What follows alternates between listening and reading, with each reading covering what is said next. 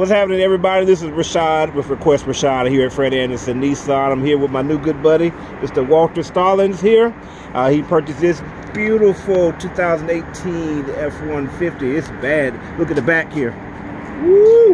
What was it like working with me there, sir? Man, Worst experience ever? Very easy. No, it was a very easy process from from start to finish. He's getting me in and out, and uh, me and the family gonna enjoy this new truck. And anybody ever need anybody to help them out selling a car or, or buying a car, anything, Rashad will help you do it, man. He'll get it done for you. I appreciate that. The guy Yes, that sir. the guy with the cue cards wasn't switching them fast enough. No, I can't read that quick, man. nah, I appreciate you, buddy. Yes, sir. Thanks much, everybody. We'll Thank talk to you soon.